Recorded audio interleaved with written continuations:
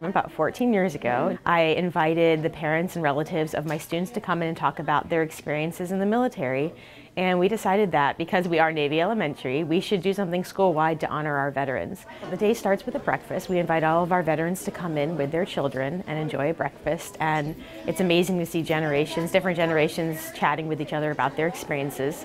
And then we invite our guests to go to the gym and on the way they are greeted and cheered on by the sixth graders who are in the hallway waving flags and cheering for them. Um, and then we start our first assembly and we'll sing the national anthem, the Pledge of Allegiance, and the Armed Forces medley. We'll hear from some sixth graders who will be reading essays about what Veterans Day means to them. My grandfathers and everyone else who was or are currently in the military play a very important role for our country. They protect and defend us from harm.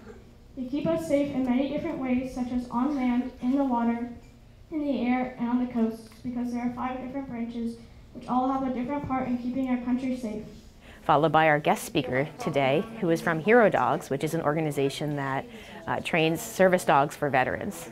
It's incredibly important that we offer this experience, first of all, to say thank you to our veterans who put their lives on the line every day for us, uh, and to create a sense of patriotism in our country and to be proud to be Americans and to understand what it means to be an American and to support our troops. I hope the students come away today feeling thankful and grateful to be Americans, and when they see a serviceman or servicewoman, uh, they say thank you for their service and really appreciate how lucky we are to live in a country where our freedom is defended every day.